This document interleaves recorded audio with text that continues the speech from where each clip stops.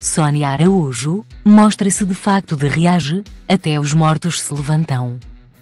Aos 52 anos, Sônia Araújo mostra-se arrasadora. A apresentadora da RTP passou um bom momento num luxuoso hotel no Porto e decidiu partilhar um registro com os seus seguidores. Sônia fotografou-se na zona da piscina interior do Hotel Hilton, de facto de banho. E as reações não se fizeram esperar.